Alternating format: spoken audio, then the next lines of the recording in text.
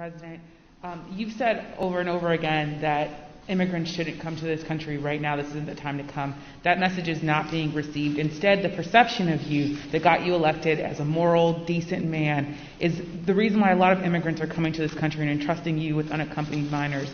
How do you resolve that tension? And how are you choosing which families can stay and which can, can go, given the fact that even though with Title 42 there are some families that are staying? And is there a timeline for when we won't be seeing these overcrowded facilities with, run by CBP when it comes to unaccompanied minors? Well, look, I guess I should be flattered. People are coming because I'm the nice guy. That's the reason why it's happening. That I'm a decent man, or however it's phrased. That you know that's why they're coming because no, Biden's a good guy. Truth of the matter is, nothing has changed.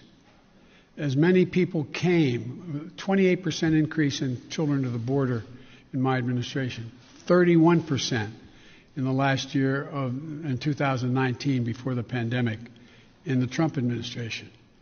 It happens every single solitary year. There is a significant increase in the number of people coming to the border in the winter months of January, February, March. It happens every year.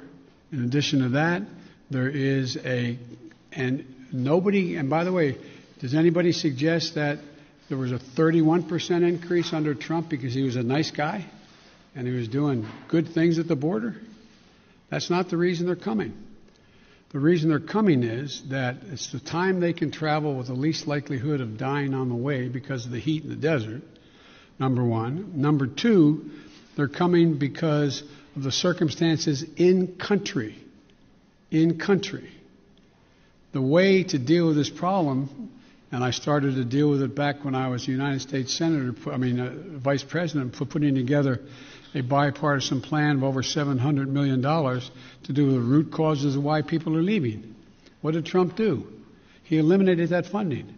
He didn't use it. He didn't do it. And in addition to that, what he did, he dismantled all the elements that exist to deal with what had been a problem and, and has been continued to be a problem for a long time. He, in fact, shut down the, uh, the number of beds available. He did not fund HHS to get people to get the children out of those those border patrol facilities where they should not be and not supposed to be more than a few days, a little while. But he dismantled all of that. And so what we're doing now is attempting to rebuild rebuild the system that can accommodate the, the, what is happening today. And I'd like to think it's because I'm a nice guy, but it's not. It's because of what's happened every year. Let me say one other thing on this. If you take a look at the number of people who are coming, the vast majority, the overwhelming majority of people coming to the border and crossing are being sent back. Are being sent back. Thousands tens of thousands of people who are, who are over 18 years of age and single people, one at a time coming, have been sent back, sent home. We're sending back the vast majority of the families that are coming. We're trying to work out now with Mexico their w- willingness to take more of those families back. But uh, we, that, that's what's happening. They're not getting across the border. And those who are coming across the border who are unaccompanied children we're moving rapidly to try to put in place what was dismantled, as I said.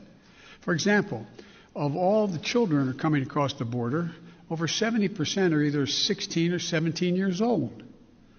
We're not talking about people ripping babies from mother's arms or little three year olds standing on the border. Less than, I think it's 1.5% fall in the category of the very young. So, what we're doing is we're providing for the space, again, to be able to get these kids out of the Border Patrol facilities, which no child, no one should be in any longer than 72 hours. And today, I went to, for example, I used all the resources available to me, went to the Defense Department, and, and the, the Secretary of Defense has just made available Fort Bliss, 5,000 beds. Be immediately available. 5,000 beds in the Texas border. So we're building back up the capacity that should have been maintained and built upon that Trump dismantled. It's going to take time. And the other thing we're doing, I might add, am I giving you too long an answer? Because if you don't want the detail. No, no, but I mean, I, I don't know how much detail you want about immigration. Maybe I'll stop there and finish. My, my, my follow-up question is, um, one, if you could talk a little bit about one, if you could talk a little bit about which families, why they're being allowed to stay, what the families that are being allowed to stay, why they're being allowed to stay. In addition to that, when it comes to the filibuster, which is what Zeke was asking about, there's immigration is, is a big issue, of course, with, when it related to the filibuster, but there's also Republicans who are passing bill after bill trying to restrict voting rights. Chuck Schumer is calling it an, an existential threat to democracy. Why not back a filibuster rule that at least gets around issues including voting rights or immigration? Jim Clyburn, someone, of course, who you know very well, um, has backed the idea of a filibuster rule when it comes to civil rights and voting rights. Well, look, um, I'm going to deal with all of those problems. The question is the priorities as they come and land on my plate. Let's go to the first question you asked, the, the first of the second questions you asked. And that is, what about dealing with families? Why are not some not going back? Because Mexico is refusing to take them back. They're saying they won't take them back, not all of them. We're in negotiations with the president of Mexico, I think we're going to see that change. They should all be going back. All be going back. The only people we're not going to let sitting there on the other side of the Rio Grande by themselves with no help are children. And what we're doing there, and it's an important point to understand. I know you understand it, I don't mean to say it that way. Important point to focus on. The vast majority of people under the age of 18 come to the United States come with a telephone number on, the, on a wristband or come with a telephone number in their pocket in the United States. A mother, a father, a close relative, a grandmama or grandpa. What was happening before is it's taking literally weeks and weeks and maybe even months before anybody pick up the phone and call to see if there really was someone there. Well, we've set up a system now where within 24 hours there's a phone call made as that person, that child crosses the border and then a verification system being put in place as, as of today to determine quickly whether or not that is a trafficker being called or that is actually a mom, a dad, and or a close relative. They're establishing that right off the bat. If it in fact is mom or dad, dad says to take the extreme case, I got a birth certificate. Then guess what? We're getting that kid directly to that parent immediately. And so that's going to reduce significantly. There's two ways to reduce child populations in circumstances that are not acceptable, like being held at a Border Patrol station. One is to get them to the place where they have a relative and set a date as to when a hearing can be held. The second way to do it is put them in a, a, health and human services facility that we're occupying now, both licensed beds around the country that exist, as well as, for example, federal resources like Fort Bliss, to get them safely in a place where they can be taken care of while their fate is determined.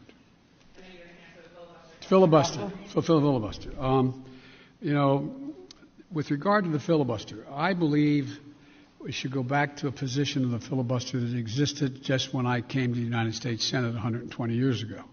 Um, and that is that it used to be required for the filibuster, and I, I had a card on this. I was going to give you the statistics, but you probably know them. Uh, that it used to be that uh, the, that well, from between 1917 and 1971, the filibuster existed. There were a total of 58 motions to break a filibuster that whole time. Last year alone, there were five times that many. So it's being abused in a gigantic way. And for example, it used to be you had to stand there and talk and talk and talk and talk until you collapsed. And guess what? People got tired of talking and tired of collapsing. Filibusters broke down and we were able to break the filibuster, get a quorum, and vote. So I strongly support moving in that direction. In addition to having an open mind about dealing with certain things that are are just elemental to the functioning of our democracy, like the right to vote, like the basic right to vote. We've amended the filibuster in the past. But here's the deal. As you observed, I'm a fairly practical guy. I want to get things done. I want to get them done consistent with what we promised the American people. And in order to do that, in a 50 50 Senate, we've got to get to the place where I get 50 votes so that the Vice President of the United States can break the tie, or I get 51 votes without her. And so I'm going to say something outrageous. I have never been particularly poor at calculating how to get things done in the United States Senate. So the best way to get something done, if you if it holds near and dear to you that you uh, um, like to be able to, anyway, I'm, we're going to get a lot done. And if we have to, if there's complete lockdown and chaos as a consequence of the filibuster, then we'll have to go beyond what I'm talking about. Okay, Cecilia Vega.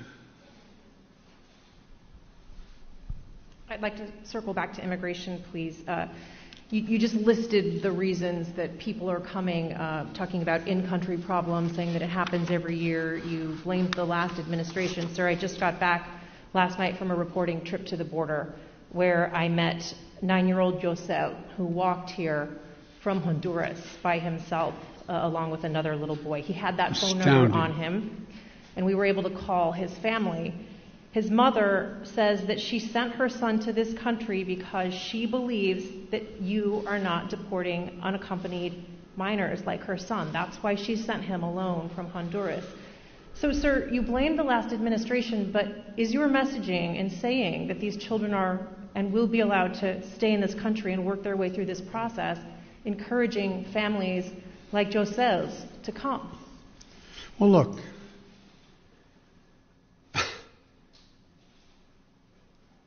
the idea that I'm going to say, which I would never do, that if an unaccompanied child ends up at the border, we're just going to let him starve to death and stay on the other side. No previous administration did that either, except Trump. I'm not going to do it. I'm not going to do it. That's why I've asked the Vice President of the United States yesterday to be the lead person on dealing with focusing on the fundamental reasons why people leave Honduras, Guatemala, El Salvador in the first place. It's because of earthquakes, floods.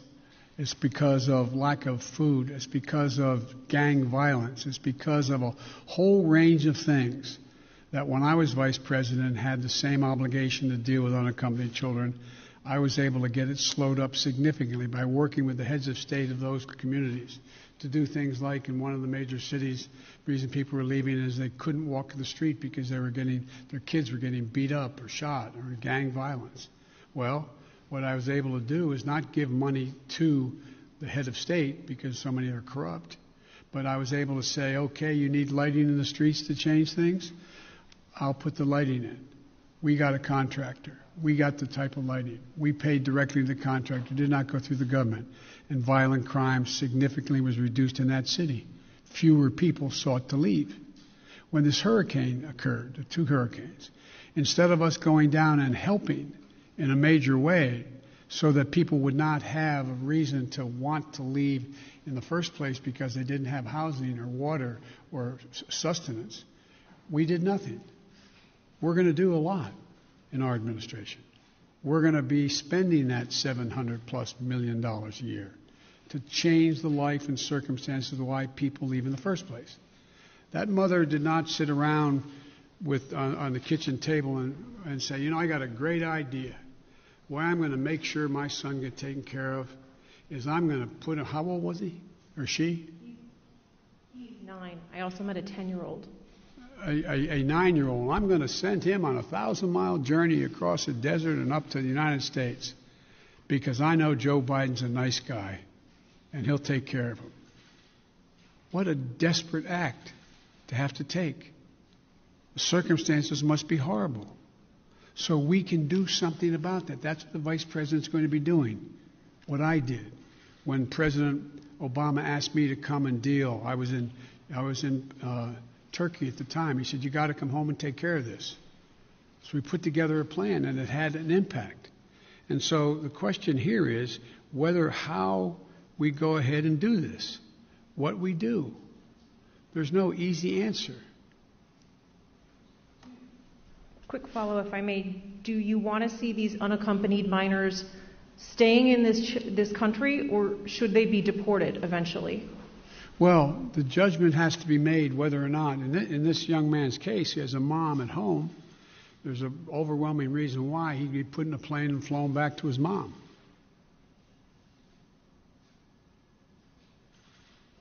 Follow, sir. You mentioned uh, circumstances that must be horrific.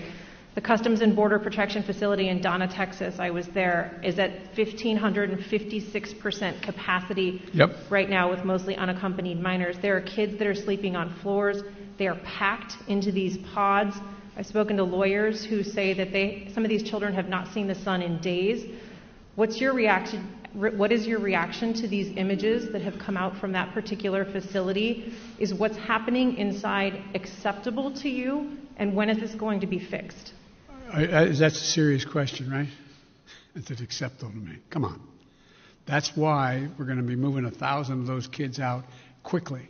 That's why I got Fort Bliss opened up. That's why I've been working from the moment this started to happen to try to find additional access for children to be able to safely, not just children, but particularly children, to be able to safely be housed while we follow through on the rest of what's happening. That is totally unacceptable. Mr. President, given the conditions that were just laid out at the migrant facilities at the U.S. border, will you commit to allowing journalists to have access to the facilities that are overcrowded moving forward? I will commit when my plan very shortly is underway to let you have access to not just them, but to other facilities as well be able to have access to the facilities. We've obviously been allowed to be inside one, but we haven't seen the facilities in which children are packed together to really give the American people a chance to see that. Will you commit to transparency on this issue? I will commit to transparency, and as soon as I am in a position to be able to implement what we're doing right now. And one of the reasons I haven't gone down, I have all my my chief folks have gone down is I don't want to become the issue. I don't want to be, you know, bringing all the Secret Service and everybody with me to get in the way. So this is being set up, and you'll have full access to everything once we get this thing moving. Okay, just to be clear, how soon will that be, Mr. President?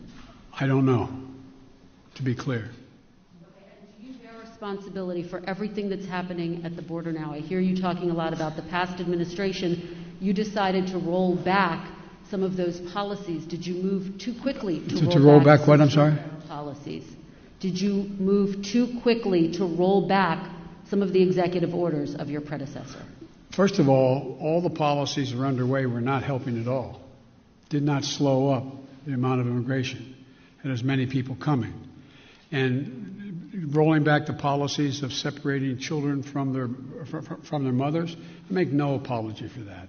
Rolling back the policies of uh, remain in Mexico, sitting on the edge of the Rio Grande in a muddy circumstance with not enough to eat.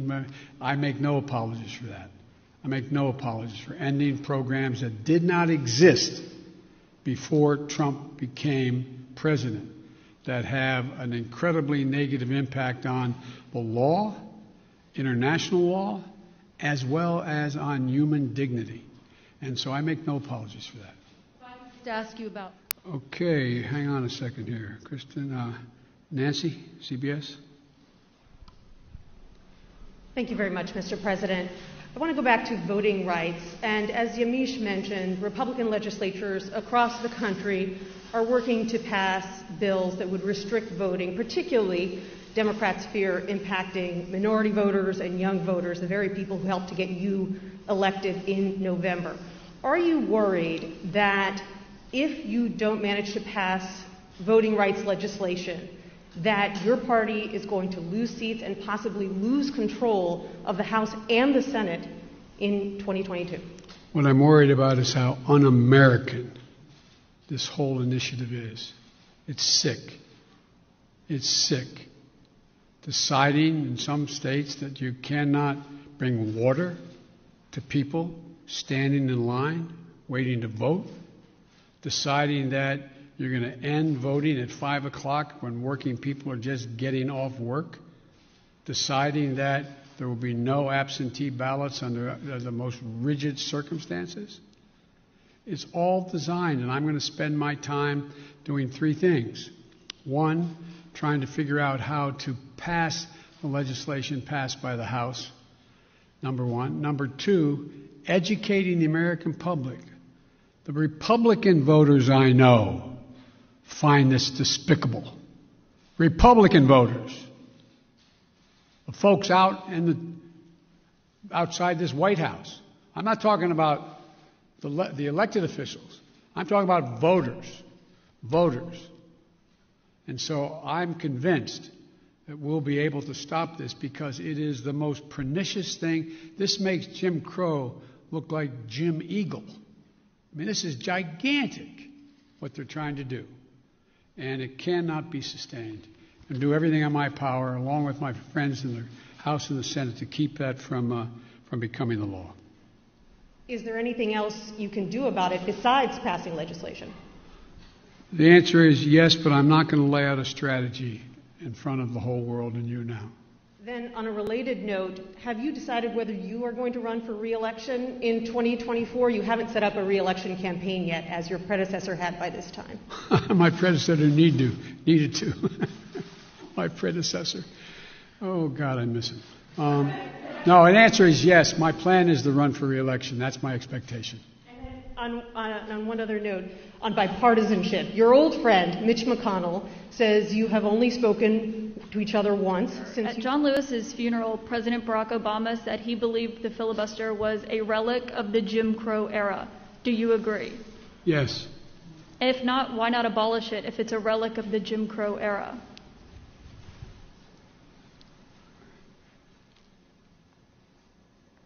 Successful electoral politics is the art of the possible. Let's figure out how we can get this done and move in the direction of significantly changing the abuse of even the filibuster rule first. It's been abused from the time it came into being by an extreme way in the last 20 years. Let's deal with the abuse first. It sounds like you're moving closer to eliminating the filibuster. Is that correct? I answered your question. You also just made some news by saying that you are going to run for reelection. I said that is my expectation. So is that a yes that you are running for reelection?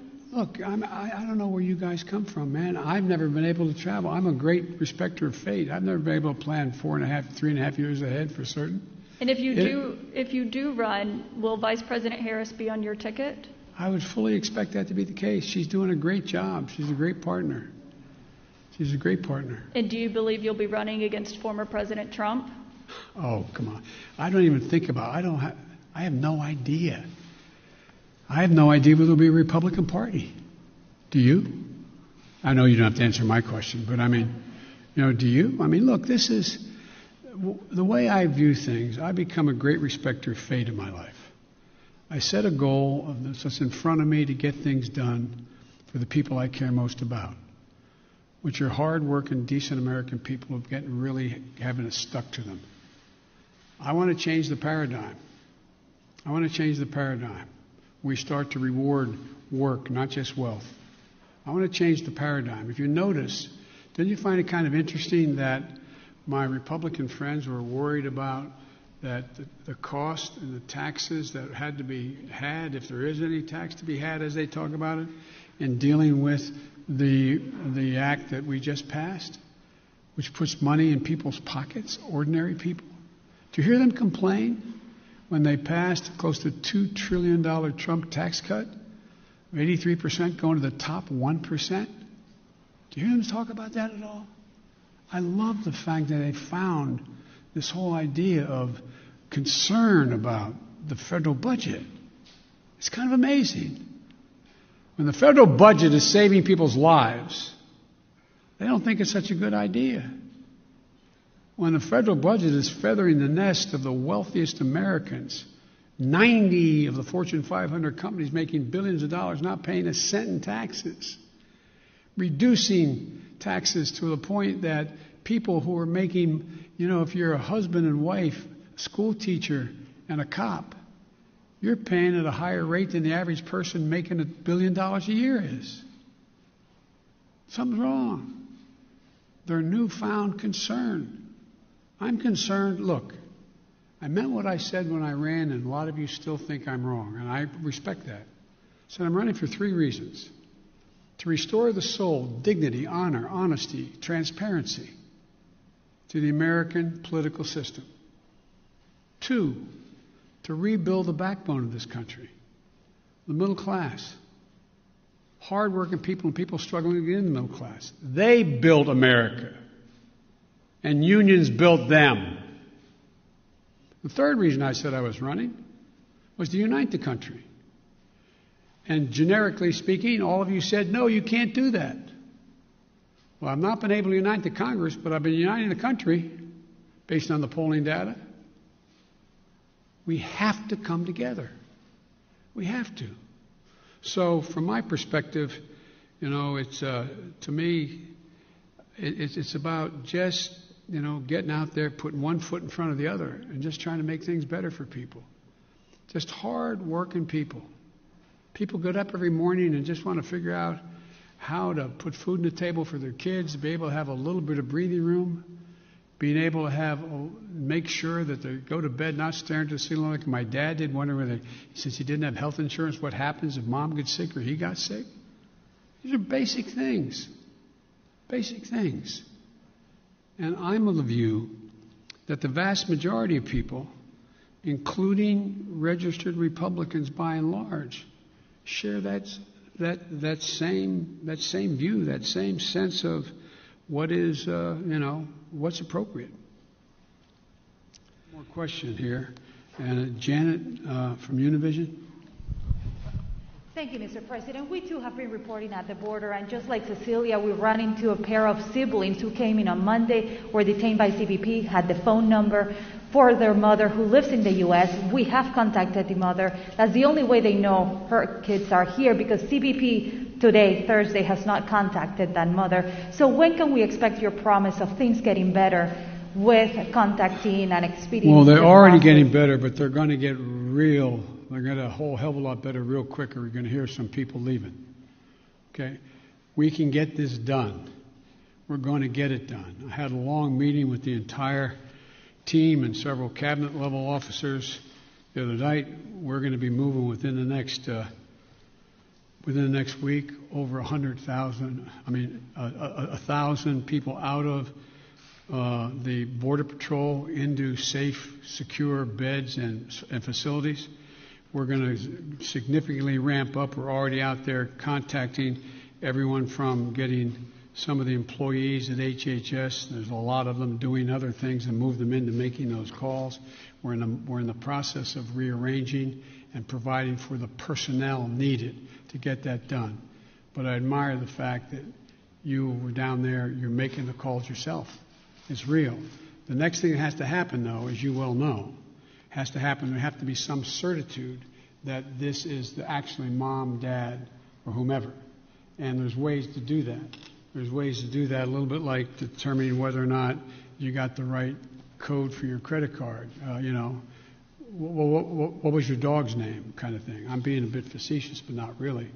And also seeking harder data from DNA to uh, to birth certificates, which takes longer. So I want to do this as, as quickly, as humanly possible, and as safely as possible. Well, no, treating the root causes in Latin America doesn't change things overnight. How do you realistically and physically keep these families from coming to the U.S. when things will not get better in their countries right away? Well, I, I, I can't guarantee that, but I know, you know, that old thing the journey of a thousand miles starts with the first step. You know as well as I do. You cover it. You have serious. It's not like somebody sitting in a hand hewn table in Guatemala, I mean, in, uh, in, in somewhere in Mexico or in, in Guadalupe saying, I got a great idea. Let's sell everything we have, give it to a coyote, have them take our kids across the border into a desert where they don't speak the language. Won't that be fun? Let's go. That's not how it happens. People don't want to leave. When my great grandfather got in a coffin ship in the Irish Sea, expectation was was he was he going to live long enough on that ship to get to the United States of America? But they left because of what the Brits had been doing. They were in real, real trouble. They didn't want to leave, but they had no choice. So you got we can't I can't guarantee we're going to solve everything, but I can guarantee we can make everything better. We can make it better. We can change the lives of so many people. And the other thing I want to point out to you, and I hope you point out, I realize it's much more heart wrenching, and it is, to deal with a five and six and seven year old. But you went down there and you saw the vast majority of these children, 70% are 16 years old, 17 years old, and mostly males. Doesn't make it, doesn't make it good, bad, or indifferent. But the idea that we have tens of thousands of kids in these god awful facilities that are really little babies crying all night. There's some, that's true. That's why we got to act. And yesterday, I asked my team, both the director of the two agencies as well as others, I asked them what would they in fact, and I asked their opinion because they're the experts, but I said, focus on the most vulnerable immediately. But there's no reason why in the next month, as people cross the border, that phone call can't be made in the first 48 hours and begin. If I may ask one last question, have you had any talks with Senate Republicans who are threatening this administration with not considering the immigration legislation that was passed in the House until the situation at the border has been resolved? No, because I know they have to posture for a while. They sort of got to get out of their system. Um, this is a uh, um, but I, I'm ready to work with any Republican who wants to help solve the problem or make, make the situation better. But folks, I'm going. Thank you very, very much. I appreciate it. Thank you.